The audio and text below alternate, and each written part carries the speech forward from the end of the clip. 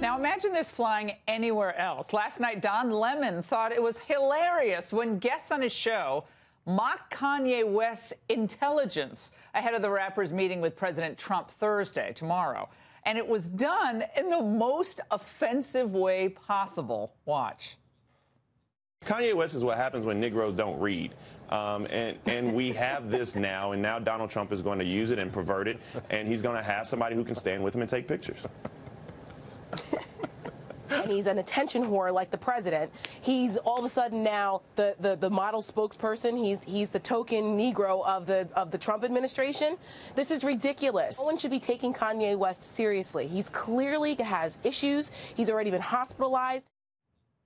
Joining me with reaction is Candace Owens, Communications Director for Turning Point USA. Candace, it really turns out that they cannot accept anyone who disagrees with them, who has any affinity for or any agreement with President Trump. Who, who's the intolerant one now, Candace? They are absolutely intolerant, but I'll say this most especially, to add to your statement, most especially black people. The Democrats rely on our vote. If they secured 85% of our vote, they would lose. So they need to achieve more than 85% of the black vote to sustain their party. So they have gone through great lengths to smear Kanye West. And what they said last night was not only racist, it was absolutely despicable. And I cannot believe that it would be allowed on any network, least of all having a host that's laughing as if it's funny.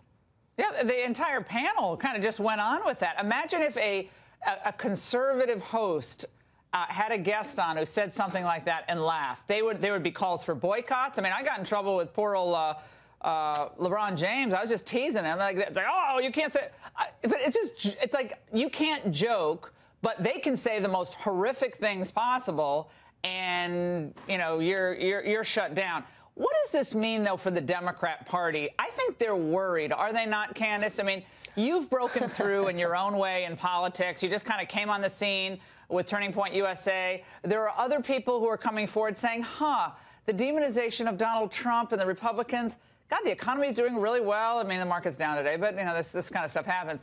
But the stuff's going pretty well, and these people seem really angry all the time. It, it, it kind of doesn't compute at some point. Well, the anger is masking their insecurity. They are terrified. They were not predicting this. They were, had no idea that there was any chance that conservatives might come after the cultural war. They won the cultural war a long time ago. So for Kanye West to stand up and to say that I support Donald Trump, that terrifies them. So they're going to say whatever they can to smear him to make sure that no other black people wake up and understand that it has been the left that has harmed our community. It has been Democrat policies that have rendered our communities in the shape that they are in today when we talk about Chicago and Philadelphia and all the major cities that they have run down. Black people are having a mass awakening, and Kanye West is a big part of the reason why. Now, you've met with Kanye West. I guess you're going to meet him tomorrow before his lunch with President Trump. Uh, you guys struck up something about friendship. What what is it with him and Trump? Is it just you know they're they're they're pals? Is there a, a, a path toward you know criminal justice reform, prison reform, other work they might do to get kids out of gangs? Like what what's the collaboration there?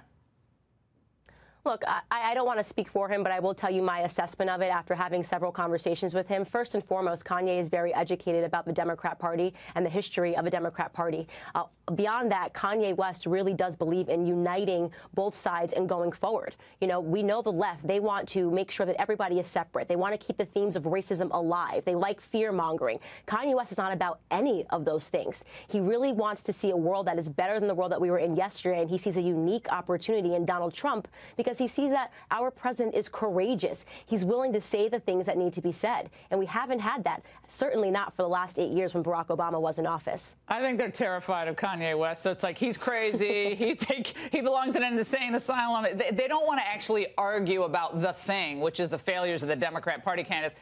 All right, Candace, give us an update after your, uh, after your meeting tomorrow with Kanye.